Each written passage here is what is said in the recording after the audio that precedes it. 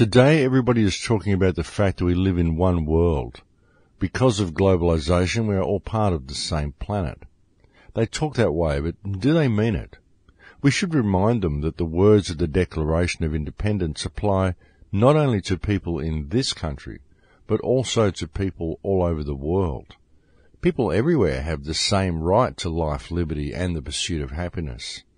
And when the government becomes destructive of that, then it is patriotic to dissent and to criticise, to do what we always praise and call heroic when we look upon the dissenters and critics in totalitarian countries who dare to speak out. And that was said by Howard Zinn. Welcome to Surviving the Matrix, ladies and gentlemen. My name is Maxwell Igan. It's a pleasure to be with you once again, and I will be your host for the next hour. Now, what I'd like to do with today's broadcast, folks, is address some of the issues that people are writing to me about.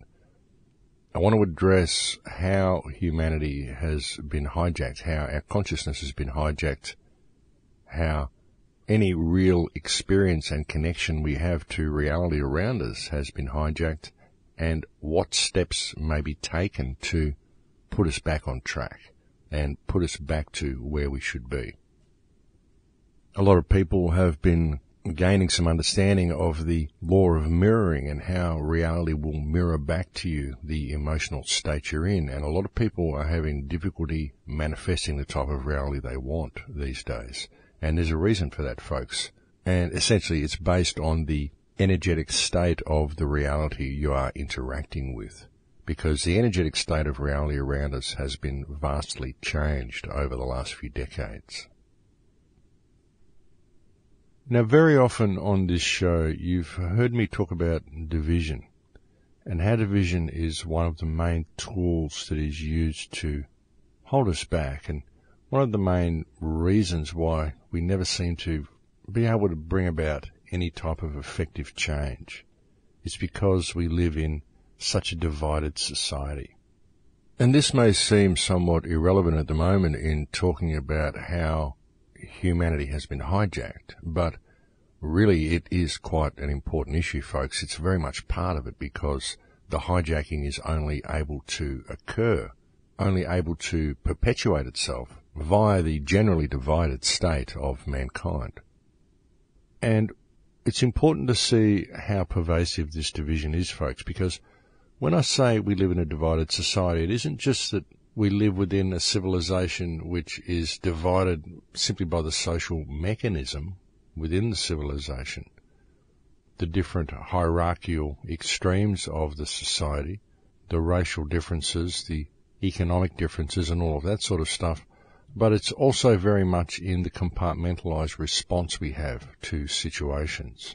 For example, the different groups that we have speaking out against different problems. The groups that are speaking out against coal seam gas mining, the groups that are speaking out against the introduction of smart meters, the groups that are speaking out against the whaling, the groups that are speaking out against the refugee situation, animal rights activists, forestry activists. There's so many different issues, folks. And each one of these issues is a quite important problem in itself.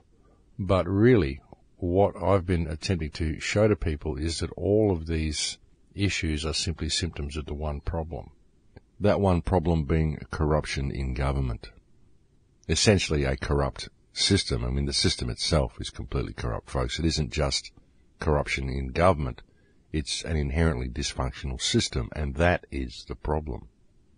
And I really believe that that's where the focus has to be because it isn't until we focus on the original problem, the issue that caused all of these symptoms to become manifest, that we're actually going to find a remedy to any of the symptoms that we're all attempting to address. And I'm not saying that people should stop speaking out against problems. We need to speak out against things, but we need to also do other things apart from speaking out against them we only really need to speak out against them in order to bring about public awareness, but you can't expect to actually change anything by just speaking out against a certain issue. You see, you're never going to stop smart meters by speaking out against smart meters. You've got to look at the mechanism which has allowed smart meters to be introduced. And this comes back to legislation that's been put in place by governments. I mean, you could look at it other ways and say, oh no, it's because of things that the electrical company is doing and new standards that they're setting up. But really, it's all combined, folks, because the electrical company can only do these things because it was privatised. Well, how did it become privatised? Well, that would be because of legislation and things that the government did which allowed this privatisation to occur.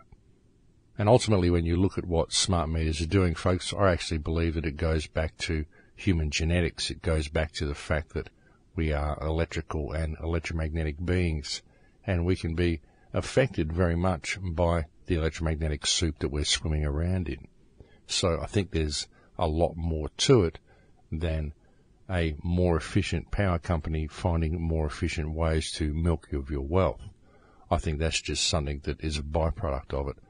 The whole financial system, folks, it's fiction anyway. So the financial reasons that people have for doing these things, I think it's just a smokescreen. I really think it's all part of a much bigger agenda.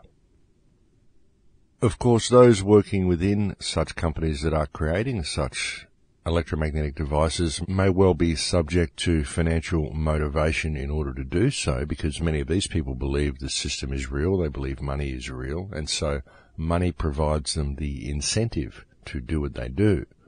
But on a larger scale, those who control these institutions at the top, those who are actually controlling the entire agenda, which is compartmentalized when viewed from a corporate level, these people really don't see money as a motivation, folks, because money is fiction.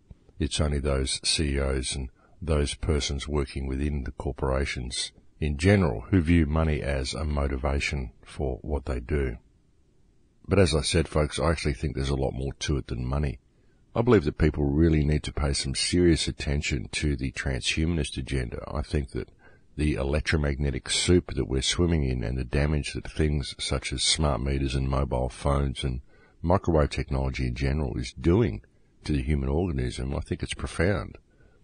I think that it's affecting us in so many ways that we're not aware of, and I really do believe there is a higher agenda to this because not only does it disconnect us from the natural frequencies of the planet and the natural frequencies that should exist all around us, it also provides a platform, a mechanism, if you will, by which we can be electromagnetically interfered with.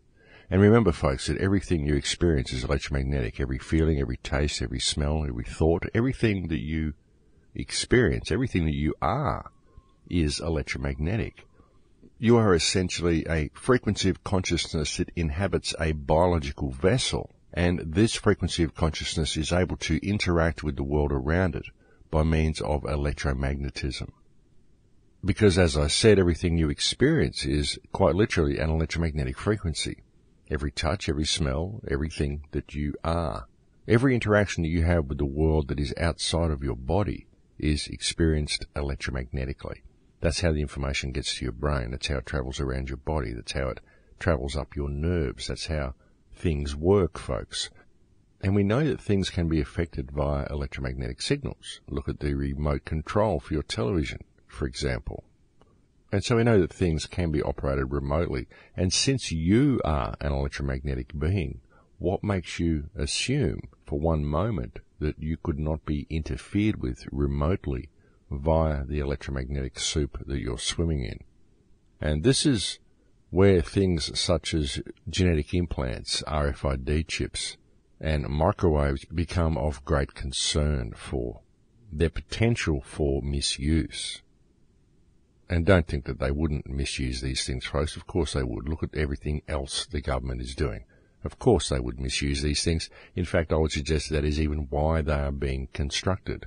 And I even think that the construction of such devices and the construction and the pursuit of such technology is really the product of a psychopathic mind because I cannot see why any normal, rational human being who was wanting to experience humanity to the greatest of their potential and wanting to nurture the human creative spirit to the greatest of its potential and take mankind in a path whereby we could achieve all that we are capable of achieving I don't see how a mind like this would even pursue such goals.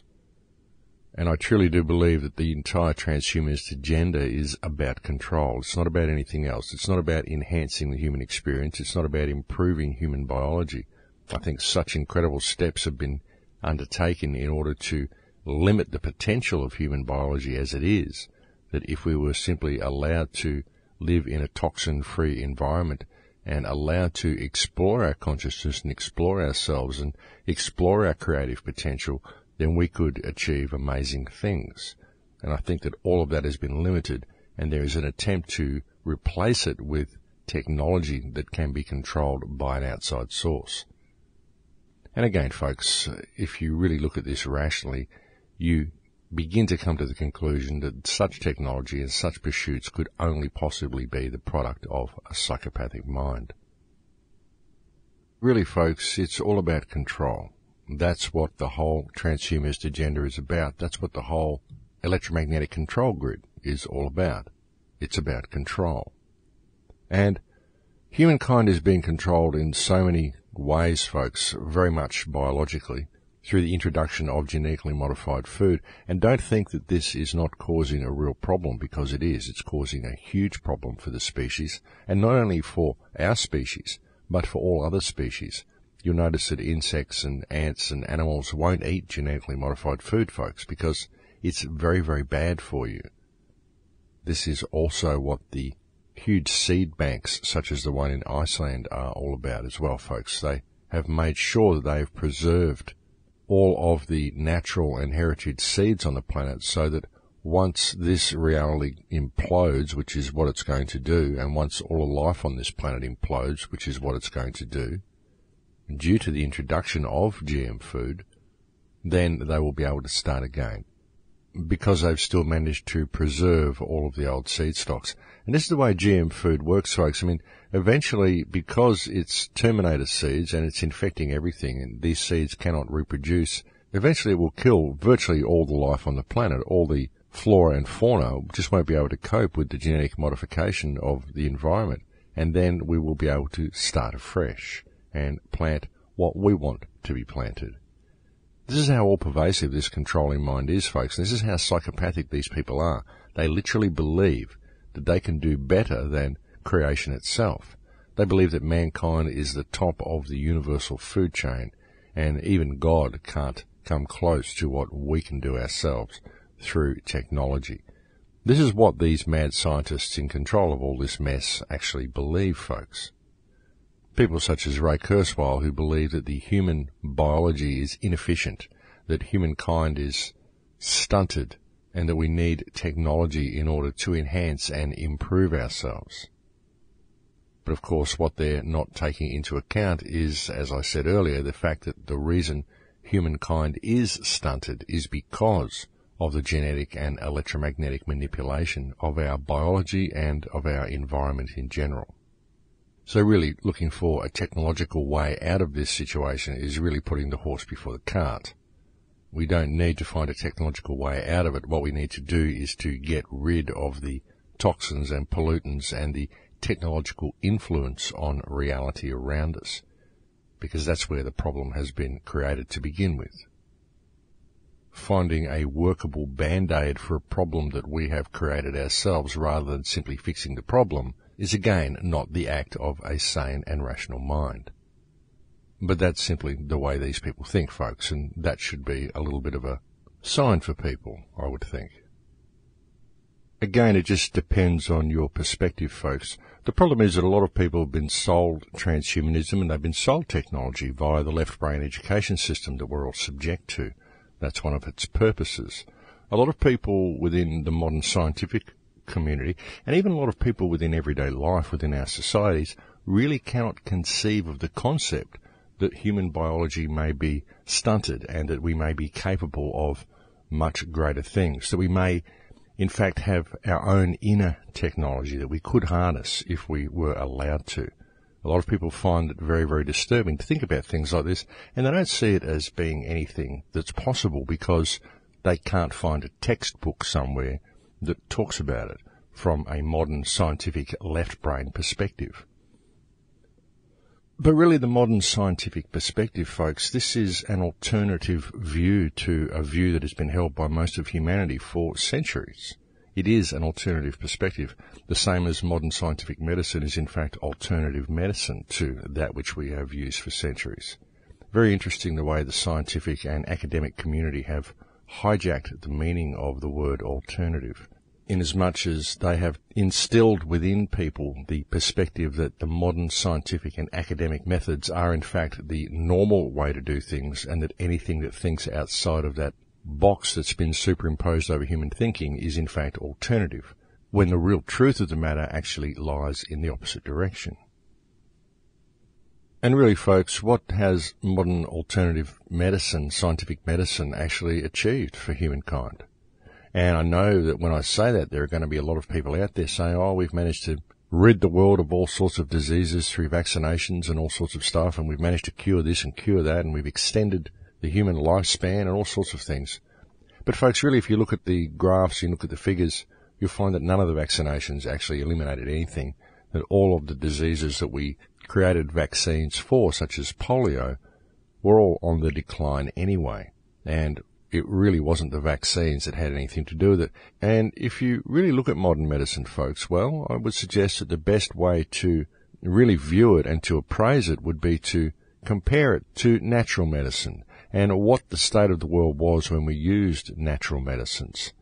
And folks, all you've got to do is look at hospitals. I mean, a hundred years ago, 150 years ago, hospitals were buildings where most of the beds were empty. It was a place that you would go to if you were seriously ill and you needed an operation or you were dying and you needed serious treatment. You would be taken to hospital. But hospitals were mostly empty. Whereas modern hospitals, since the introduction of the modern scientific method, are places where it's almost impossible to get a bed. These are places that are overflowing with sick people. The world is in fact far, far sicker than what it was when we used to use natural medicines. And this is what the scientific method has done. See, the scientific method and natural medicine, again, folks, it's all about control. They're not really interested in healing you. What they're interested in doing is controlling you.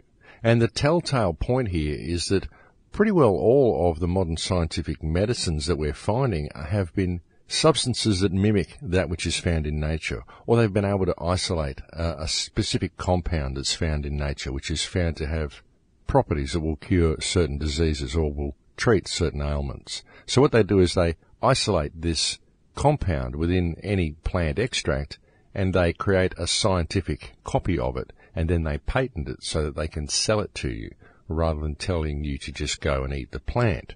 Because that way they can make money out of your sickness. And if they're feeding you GM food, which naturally impedes the body's ability to heal itself, then they're selling you sickness with the GM food and then they're selling you the compounds that they have isolated from nature in order to treat those sicknesses.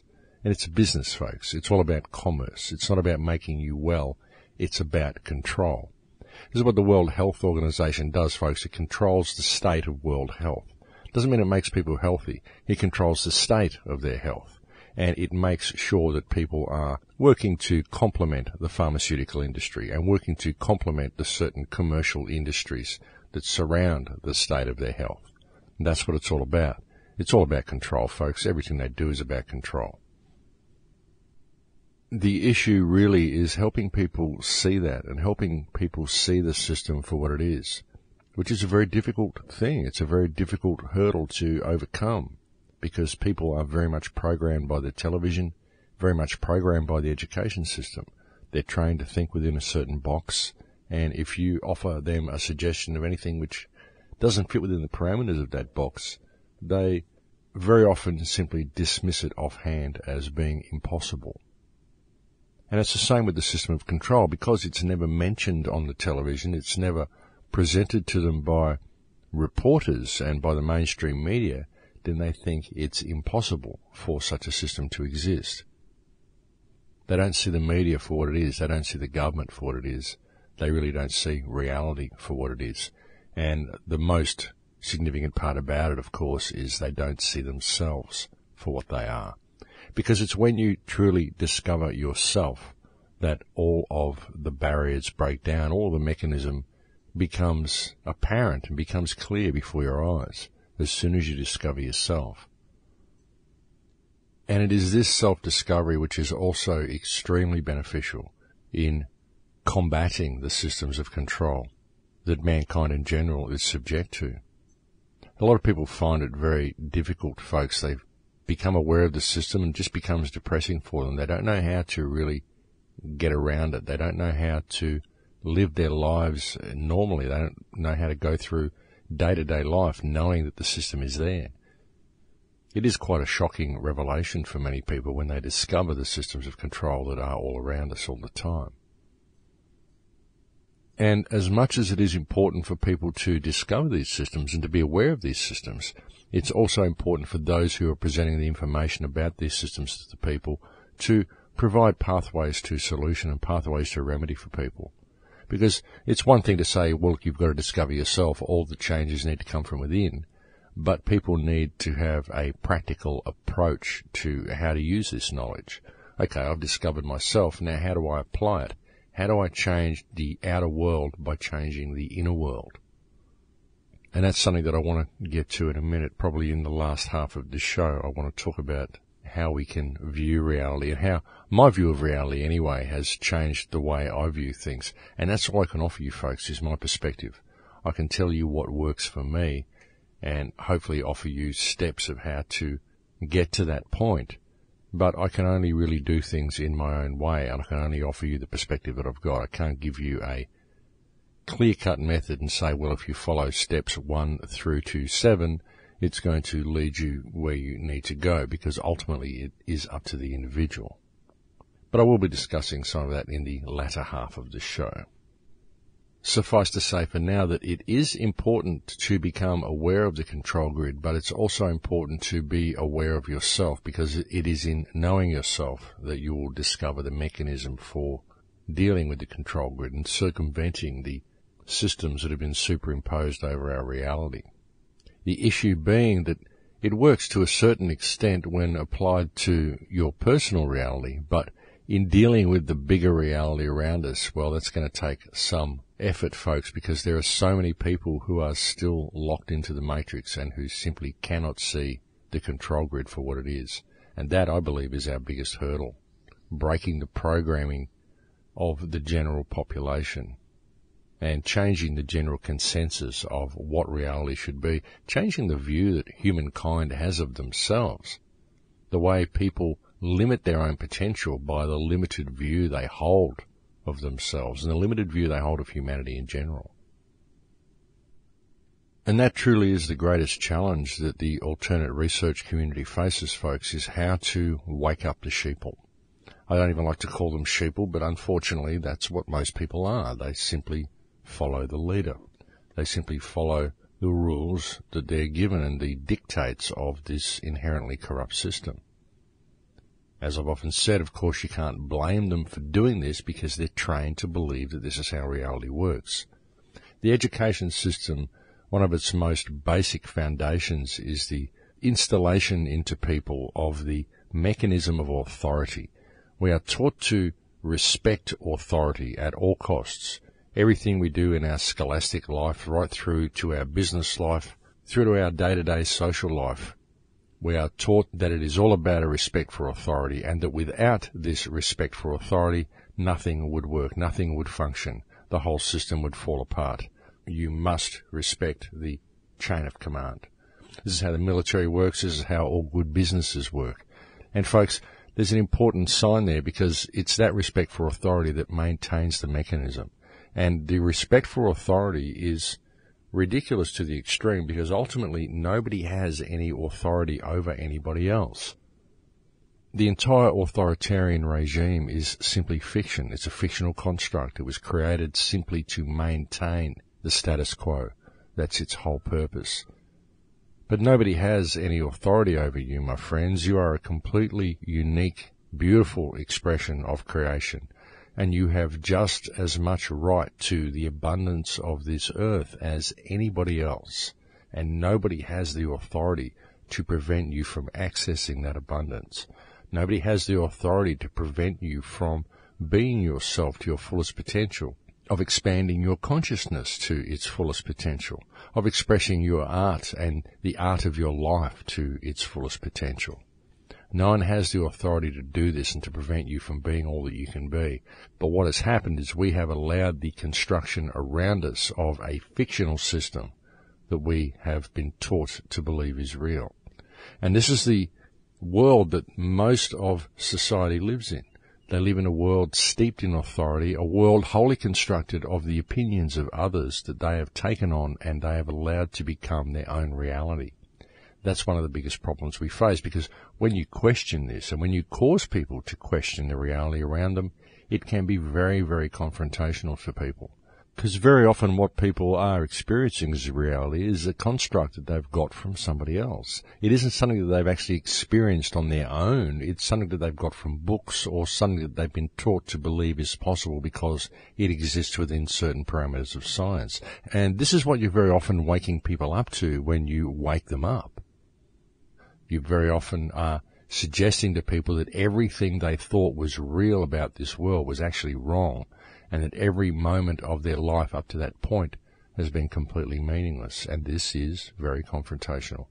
This is a huge moment of awareness with people and it can be taken very many ways. Some people find it an incredibly uplifting and freeing moment of their lives and some people find it to be a very depressing and very fearful moment of their lives because suddenly their reality falls away from beneath their feet. And once you wake up, it's very difficult to go back to sleep. So it's important to be aware of how you're bringing this type of information to people. And it's important to be aware of the type of programming they've been subject to. And I believe that the best way to wake people up from this slumber that we are collectively in as a species is to lead by example in all that you do. To show people that there is a better way, not just tell them that the world is corrupt, but to literally show them that there is another way of doing things and to point out the obvious to them in as calm and concise a manner as possible. That's the method that I've used anyway. But it is a lot to be feared, folks. There is a huge control grid being put in place around us. And I can understand why a lot of people are fearful when they present the information to the people at large. But again, folks, I see it all as opportunity and we'll discuss some of these opportunities after the break because I think we are now at break time, folks. So I'll have to leave it there for now. It's a pleasure having your company with me on the air today, and I'll speak to you again in a few minutes. Thanks for listening. And welcome back, ladies and gentlemen. Yes, so there is no underestimating the electromagnetic control grid that is around us. There is no underestimating the amount of smog that we are swimming in all day. And a lot of this smog is why many people are having so much difficulty with their emotions lately. It's why people are having so much difficulty connecting to source lately. Because we are quite literally swimming in a sea of electromagnetic soup. And this is not just due to mobile phone technology and wireless technology that's around us, it's also due to aerial spraying because there is an electromagnetic flux that has been created in the atmosphere due to the emissions that are coming from a modern aircraft. A lot of people look at chemtrails and they, they view the topic as very, very fringe theory. They view it as disinformation, many people. But the research that I have done has caused me to believe that the phenomena of chemtrails is real and that there are specific compounds that are being sprayed across the planet.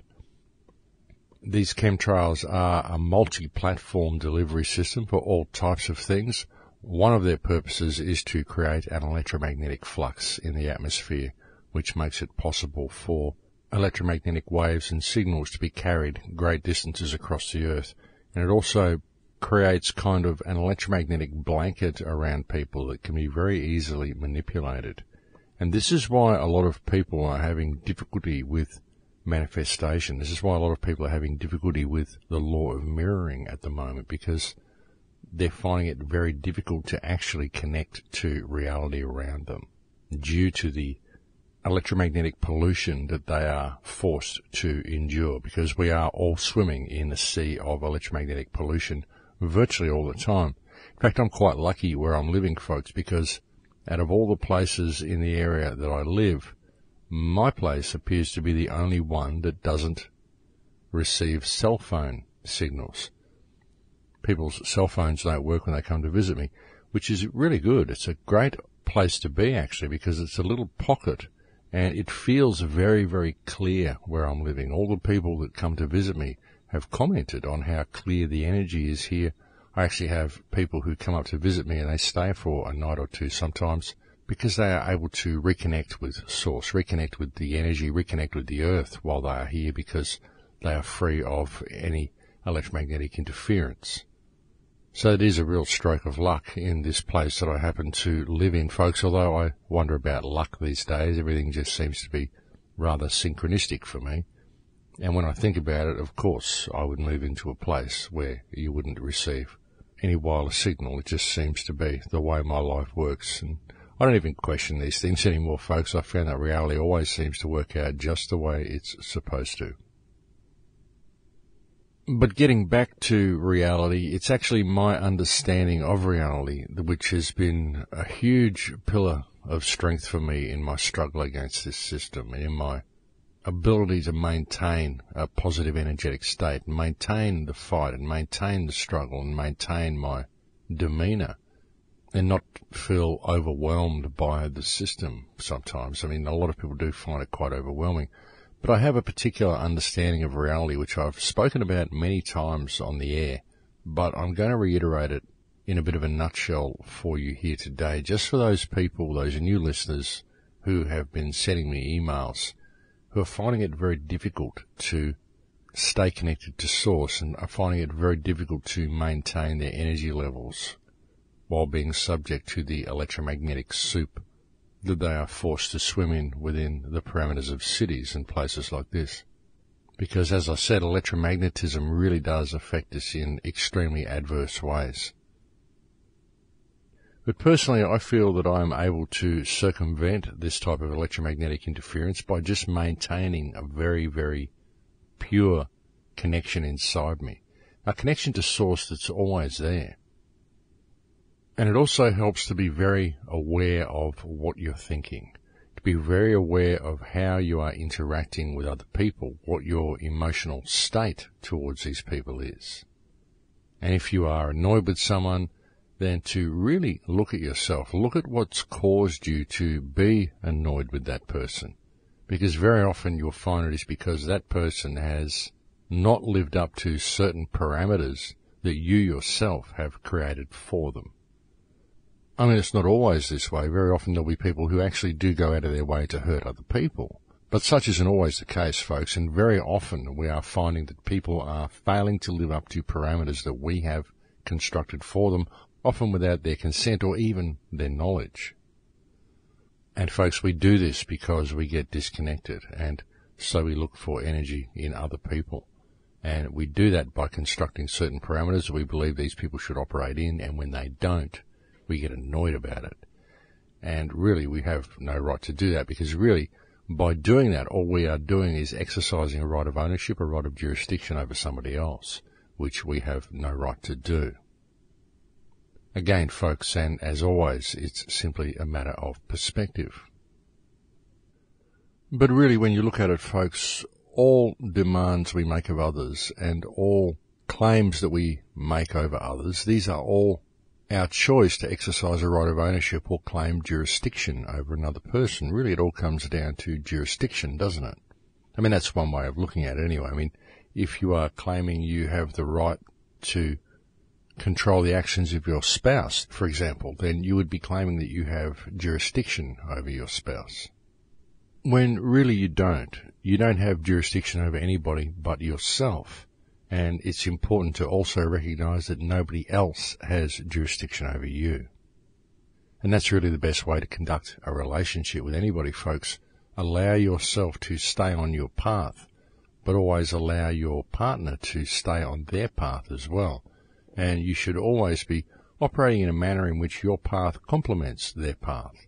And your path, though being unique to yourself, also complements their path and helps your spouse become all that they could possibly be. Because why would you want anything less than that for the person that you love? And to me, that's what a relationship would be. But look, getting back to reality and my understanding of reality, you've often heard me talk about the measurement problem on the show, folks. You've often heard me talk about the nature of atoms and how a scientist cannot measure an atom until he actually goes to measure it because the electrons that revolve around the nucleus are infinite. They exist everywhere at once. And it isn't until the scientist attempts to measure the atom that the electrons make the choice, the conscious choice to be in one particular spot so that the scientist can measure the atom. And thereby we see an example that we create matter by our observation of matter. Essentially, we create matter and we believe matter should behave in a certain way due to our belief that the matter is there and due to our belief that it should behave according to certain parameters. And this is called the measurement problem, folks. And when you really think about that basic concept, and really, folks, this is how it's explained by science. And when you think about that and realize that atoms are the building blocks of all matter, all reality, and atoms are the building blocks of Newtonian physics, and atoms are something that science has yet to understand, then you begin to see what I'm getting at here, and you begin to see how profoundly different reality is to what our mainstream education system teaches us. Even though this is part of Newtonian physics, they just look at this and they call it an oddity. But really, folks, it's utterly profound that this should be how reality works. Now, couple that with the understanding that there have been studies which have shown that your consciousness is not local to your body. It actually exists outside in the field and that you download a certain frequency. And this has been correlated through studies that have been conducted on organ donor recipients who have begun to take on some of the characteristics of the donor once they receive the organ. It isn't like the organ had memory and they started experiencing some of the memories of the donor, although that has happened. But the organ actually contained the frequency of the donor, and that started to interact with the frequency of the recipient, whereby the recipient would start to crave certain foods that the donor liked, would start to enjoy certain music that the donor liked, and certain tastes in art that the donor had, that the recipient did not have previously. And these are not genetic memories. This is quite literally someone else's personality being downloaded into that body which received the organ because the body is essentially a biological computer tuned to a specific frequency that exists in the field outside of the body. And once an organ from another person is placed inside that body, then that organ is tuned to a different frequency. So it starts downloading parts of the person. Of course, it doesn't download as much as the recipient because there's far more organs, far more tissue, far more biology and genetics involved. And when you look at the work of people such as Bruce Lipton, and you begin to understand that cells are actually controlled by their environment, genetics are controlled by their environment, and that everything operates electromagnetically, then you begin to see a larger picture. Couple that again with the work that's been done on the electric universe, and you begin to see that everything is electric and everything is electromagnetic. And of course, this is how consciousness works, and this is how the human body works. And it makes perfect sense for it to work that way. In fact, when you really begin to think about it, you begin to wonder how else could it possibly work? And this is a really significant understanding, folks, because what you begin to see is that the universe is an energetic universe, that everything that exists in all of reality is made up of different frequencies of energy, different frequencies of light and sound. That's it, folks. Photon light and phonon sound. That makes up all of creation. And you begin to understand that, as was so eloquently said in the Four Agreements, it isn't that the stars create the light, it's that the light creates the stars. And then you begin to understand the difference between what the Native Americans call the tonal and the nahual, which is the light and the dark, the matter between the light. And you begin to understand that empty space isn't empty, it's full of energy, the energetic stuff, the fibers, the strands, the frequencies of energy, the unformed stuff of creation itself. That is what is in the space. And then it dawns on you that it is a space that is real. That is the real stuff. The real fabric of reality is the space. And that all matter is, is divisions in space based on the perception and the understandings and the belief of that which is observing the matter. And you begin to look at this, folks, and it gives you a completely different understanding of reality and how you interact with reality and what you are actually connected to. The fact that you are literally made of energy. This is profound, folks. When you start looking at this and you start thinking about this and you start thinking about your day to day life and the way you interact with reality around you, then the mere fact that you exist, the mere fact that you are sitting in a chair right now or driving your car or wherever you happen to be, you're tuned into your computer or to your mobile phone or however you get the information, and you're sitting here listening to me talk, and you can look up and look around you and see the room and see reality and experience yourself, see your body, see the chair that you're sitting on, experience interaction with other people. This is absolutely incredible. This is absolutely amazing that we could have the type of reality that we have. It's absolutely incredible. And this understanding causes me to basically live my life in a constant state of amazement. And this is just how it is for me. I mean, I honestly can't remember the last time I had a bad day. I really can't. I can't remember the last time I was annoyed with anybody. Sure, I mean, I get frustrated. I get annoyed at the powers that be for what they're doing to the planet. But I don't get annoyed or upset with people around me on an everyday basis. I mean, people that, you know, you meet in the shop or people you meet down the street or some of your friends who might act in a way that you don't perceive to be beneficial or whatever judgment you want to put on it. You know, I just don't remember the last time I actually got upset with anybody. I mean, like I said, sure, I get annoyed with the ruling elite for what they're doing, but I don't hate them for it. I just get frustrated with it, so I do what I do with the radio show. I get annoyed with them, sure, but I find that annoyance to be motivational. But I don't get annoyed with anybody and just sit there and brood about it. I'm still in a state of amazement because I know how simple it would be to fix the problem. I know how simple it would be to change reality. You know, the world is only really getting worse because everyone believes it's getting worse. That's how it works.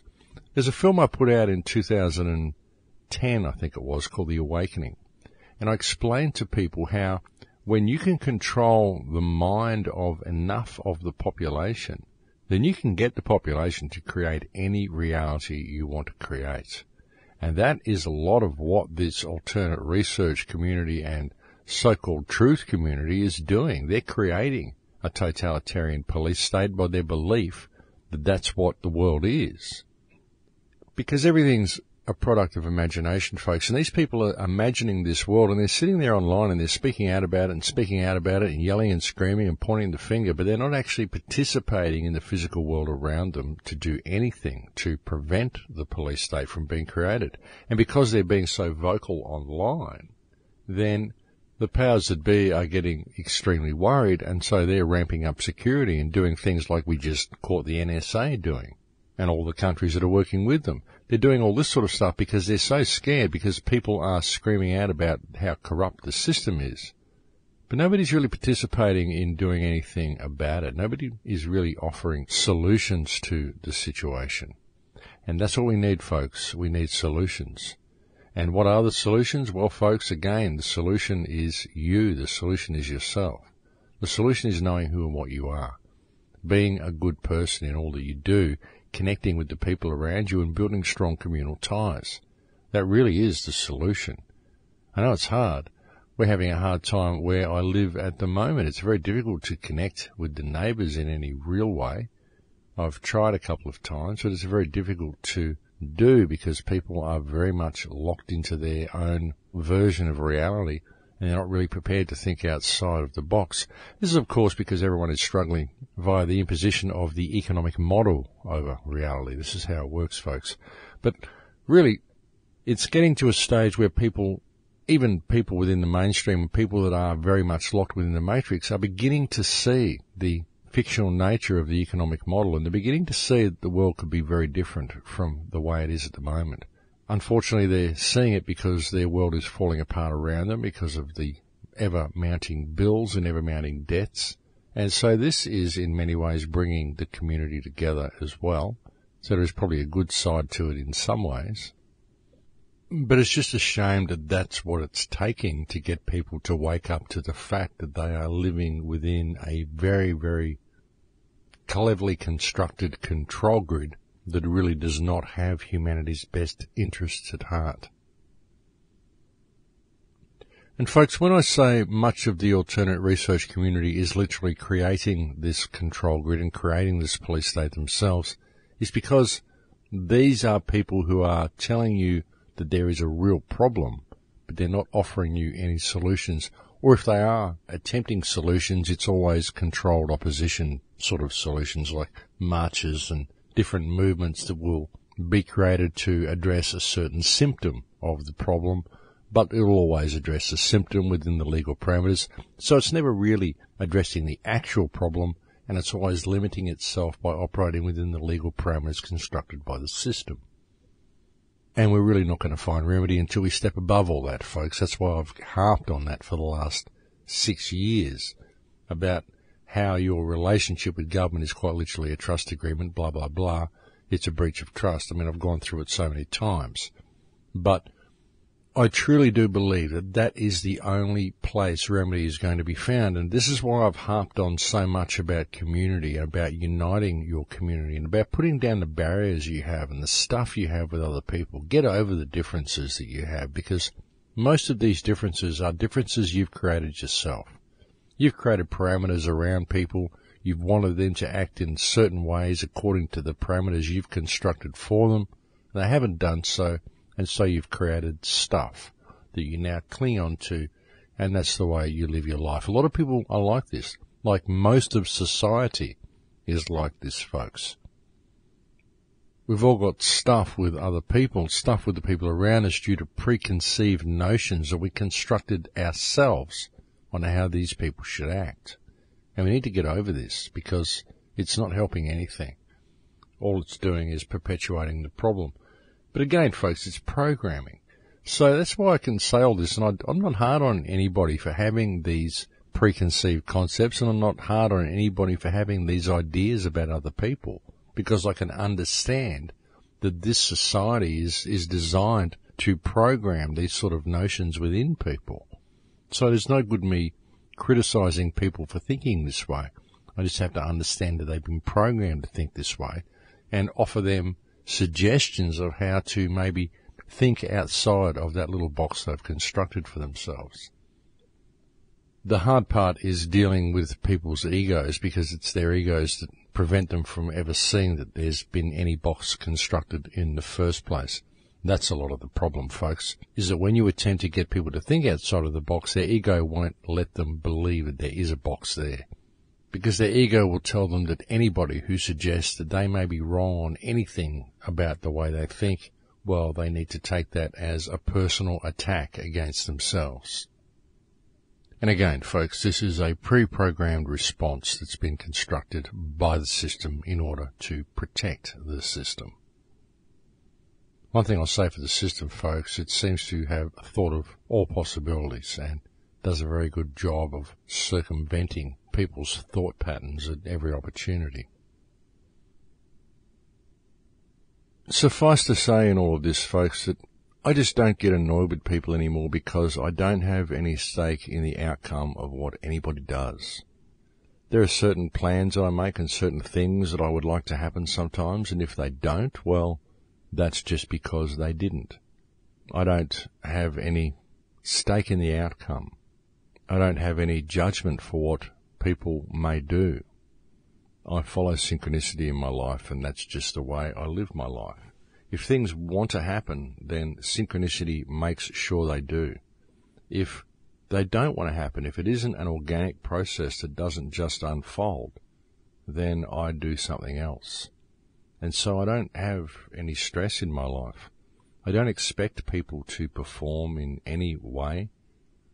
I just want people to find themselves, and I enjoy seeing people find themselves. I enjoy seeing people around me happy. I really do. I don't believe I have any hold or control or jurisdiction over anybody. And I also don't believe anybody has any over me. I just find life fascinating. I find people around me fascinating. I even find people who have fights and arguments and disagreements with each other fascinating. I find it fascinating that they can actually find something to fight about. Because to me, it's all a disconnection from source, a disconnection from reality. I find that people tend to harvest energy from those closest to themselves because they are disconnected from themselves and they become self-absorbed and they start looking for energy in others. I just don't do that, folks. I think reality is something different to that. And I just find the whole thing incredibly fascinating. And so that's the way I live my life. And I do what I do on these radio shows. I speak out with the voice that I have and say the things I do simply because I think it needs to be done. I think someone has to do it. I don't think we can allow human consciousness to simply continue down the path it's currently going because I think that path will ultimately lead to the destruction of mankind and the destruction of this reality, the destruction of our planet. And I can't sit idly by and simply allow that to happen. And that's why I do what I do. But suffice to say, folks, that there are a lot of systems in place that have hijacked the human experience and hijacked every part of our consciousness. But in all of this, it's provided us with the opportunity we need to address the situation, folks, and that is the important thing to pay attention to. Well, folks, we're almost at the end of this show here again. I have sorted out donations on the website again too, folks. You can make a donation now, and if you feel like it, please, it would be greatly appreciated at this moment in time. There is a link there and to an email address to send a smile at live.com. There's hyphens in there, send hyphen a hyphen smile at live.com. You'll see a link there on the website. You can make donations to that foundation at the moment. They are handling donations for me while I set up a Crowhouse Foundation that will handle donations from that point onwards. And again, folks, due to changes in PayPal, there isn't actually a donate button on the website, but there is an email that's listed there that you can use to make donations via PayPal. Again, this is due to changes in PayPal. It's not easy to access a donate button with the new format, but we're working on it. And so I'll keep you posted on that one. It's just a little bit difficult at the moment. You can't just click donate. You actually have to go to your PayPal and, and specify the email that you wish to send the donation to. And so that's a little bit of a hassle for people, and I apologise that, but it's the best I can do at the moment, and your donation is greatly appreciated. So thank you very much to anybody who does make one. And to all those people who have sent me contacts regarding help with the television program for David Icke's TV station, The People's Voice, I will answer the emails, folks, and it's been great to receive the response that I have. Keep it coming though. If you're someone out there who believes you can help with the television production and have ideas for the show or anything like that, don't hesitate to get in contact with me. We want to get as many ideas on the table as possible and the people's voice really is about the people's voice. It's about you folks. So make sure you get involved with this because I really believe in what David's doing. I think that we can reach a large number of people with this television station he's opening. And I think it could be something that may even turn the tide in our favour, folks. So please do get involved. The people's voice will not be the people's voice without the participation of the people. So please do get involved, folks. But look, that is it for me. I'm completely out of time now. Thank you to anybody who has ever sent me a kind email. Thank you to anybody who has ever helped with the website. It's greatly needed and greatly appreciated. Thank you for continuing to listen to the show and for the support that you've shown me over the years.